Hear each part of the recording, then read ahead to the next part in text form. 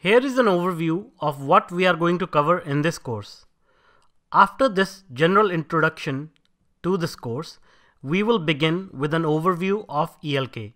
Then we will focus entirely on Kibana for the rest of our course modules.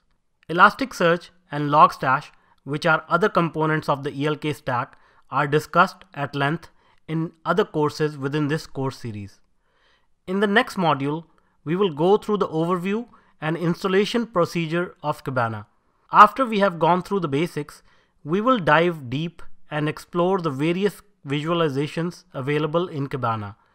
Lastly, we will explore some real-world use cases of using this tool. In the light of this course overview, what can you actually expect to take away from this course? By the end of this course, you will be equipped with enough information for effective use of Kibana should you choose to use it in your projects. You will be able to explore the plethora of benefits and leverages offered by Kibana.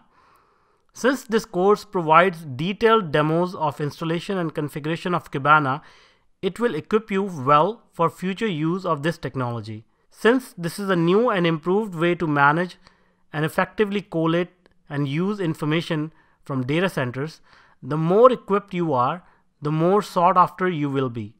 And this course will be a right step towards improving your work, project, and career prospects.